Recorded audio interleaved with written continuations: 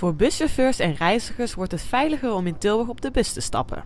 Al rijdend in de bus hebben waarnemend burgemeester Ivo Opstelten, politie, Openbaar Ministerie en Veolia Transport woensdagochtend hiervoor een convenant ondertekend. Met de ondertekening moet de samenwerking tussen de vier betrokken partijen effectiever en intensiever worden.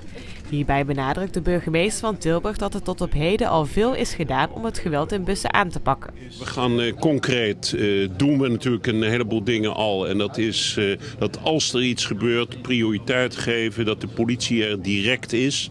Ehm, het Openbaar Ministerie direct ook aansluit. En, ehm, en dat gewoon iemand die dat doet, ook meteen lik op stuk wordt aangepakt. Vervolgens ik het voorkomen. Een goede voorlichting. Uh, dat personeel van de busmaatschappij natuurlijk is voorbereid. Dat die zijn getraind. Dat die ook zelf uh, zaken kunnen aanpakken. Uh, dat er goed toezicht is. En ja, dat we ook voorkomen dat dit soort zaken gebeuren.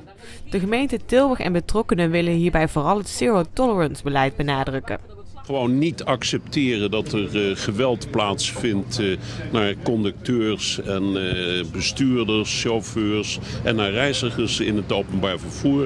Het is afgelopen, we pikken dat gewoon niet meer. Daar gaat het om. En een heleboel dingen lopen wel, maar het is wel zo dat je een keer iets formeel ook moet vastleggen als partners zoals we hier zijn. Politie, de busmaatschappij, Veolia, Openbaar Ministerie, concessiehouder, de provincie en het gemeentebestuur. Alle chauffeurs van Veolia Transport in Tilburg hebben in de bus een rode knop binnen handbereik. Hiermee worden ze direct verbonden met de meldkamer van Veolia, die op zijn beurt melding maakt bij de politie. Het is toch eigenlijk net of je iemand bij je hebt, zeg maar. Dus uh, ja, je weet dat ze heel snel reageren.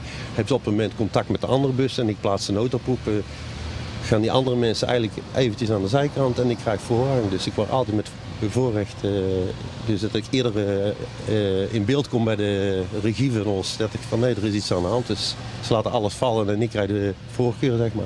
De buschauffeur is zeer te spreken over de nieuwe maatregelen.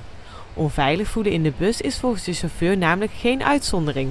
Maar onveilig, ja zeker. En, en dikwijls om niks. Gewoon de mensen die lopen binnen, komen binnen en gaan gewoon zitten. Je vraagt gewoon van mij even je plaatsbewijs zien. Laat ik jou niet zien, hoef ik jou niet te laten zien, ik heb een kaartje. Nou, ja, dat is ook wel een beetje hoe je daar zelf mee omgaat. Maar in principe, ja, dat kan binnen vijf seconden escaleren. Tot een handgemeen toe, ja. Het convenant is het eerste dat tot stand komt naar aanleiding van de landelijke taskforce Veiliger Openbaar Vervoer. Hierin staat tevens dat het project Weekendje Weg naar de Nightliners wordt uitgebreid. Een geweldpleger in deze weekendbus moet zodoende direct een weekend vastzitten.